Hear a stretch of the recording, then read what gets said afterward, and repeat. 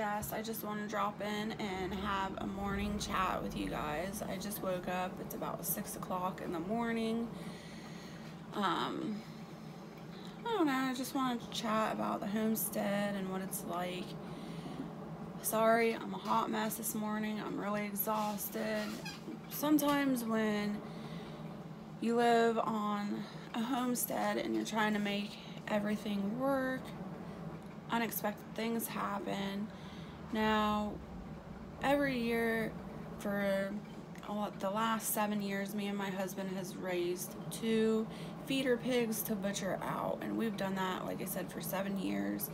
And this past year, with everything going on in the world, um, prices in the stores, it just made more sense to breed our pigs and raise our own piglets up and try to make a little bit of a profit out of it instead of every year buying two new feeder pigs. So that's what we did. And yes, we expected our pigs to be pregnant, but we didn't expect them to come this fast. So yesterday was a really exhausting day for us. The piglets came, we weren't prepared. I know that's our fault, but um, I expected at least another month before they were born, but that didn't happen. So after all my normal chores and everything, trying to run around and get that done, the piglets were born, so we had to go out there and make sure that they were okay.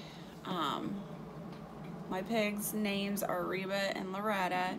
Reba is the one that gave birth, and she gave birth to 11 piglets. We did lose two.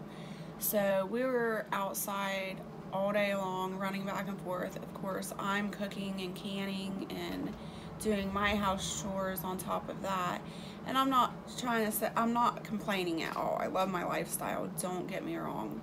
I'm just saying if there's people out there that want to get into homesteading, no, it's not easy. And some days are harder than others. Yesterday was one of my hard days. Uh, I have back issues. I don't bend well. I have to be really careful with my back. So putting extra work on top of what I already do um, wears me down a lot. So we spent most of the time out there in the pig pen, um, making sure everybody was safe, everybody was fed, and um, we didn't get into the house until probably 10 o'clock last night and by that time I was just so exhausted I went straight to bed I didn't get my shower. And that's the point I'm making. When you're raising animals you a lot of times you have to put yourself aside and put them first. And that's what I did yesterday. Yeah I look a hot mess. I haven't done my hair. I haven't showered or anything. I know gross right? But sometimes that's just the way of life um, hoping to get into the shower this morning. I've already been out and I've checked on the piglets. I've counted them, made sure that they were warm and safe and everybody is doing good.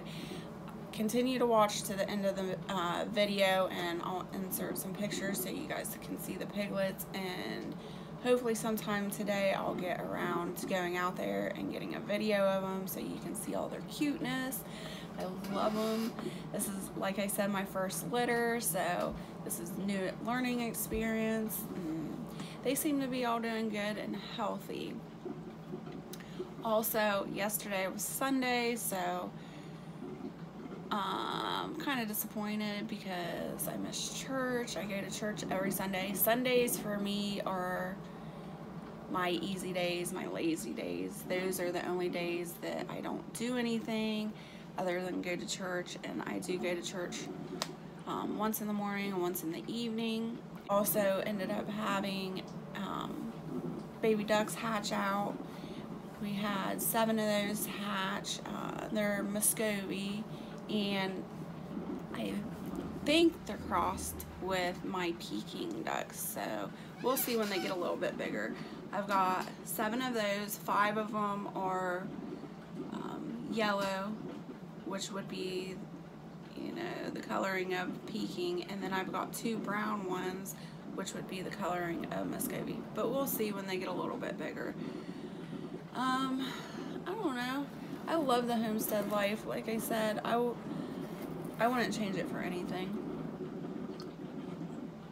My husband, on the other hand, he's a little bit older than me. He, I drive him crazy with my animals. I love spring. I love summer. I love when new, new animals are being born, and life is being created, and his enjoyment comes from watching me and my excitement. He's done this long, way longer than me. Um, he grew up on this property and his mom and dad always had gardening and animals and a homestead, although that's not what it was called back then. But he doesn't get the excitement as I do other than watching me see my excitement for my animals. But he puts up with me because he loves me. Thank goodness. he was just threatening me the other day that if I had one more animal show up on the property, he was getting rid of all of them. And then the piglets were born and the baby ducks were born. So, although he was trying to be mad at me, he couldn't because I was so excited and I was screaming like a little girl running around. Well, not running, but you know, full of excitement, excited that the pigs were coming. Just being able to witness that and be a part of it was amazing. So anyways, like I said, I'll insert some pictures of the piglets here in a moment. If you would please click um, the like button below, subscribe, and just watch me through my journey. And I hope you enjoy this video. And as promised, I said I'd show the little piglets. Here's Mama Reba. She had 11 piglets, and she has nine healthy ones. We lost two. She is a Tamworth, and the daddy is a New Hampshire. And they're so cute. So here's the piggies, guys.